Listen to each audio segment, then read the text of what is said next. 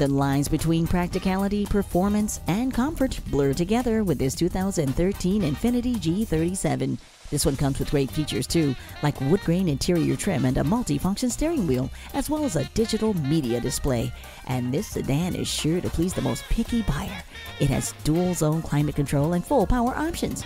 The best line to blur is the one between wants and needs. Come in and experience the best of both worlds today with this G37.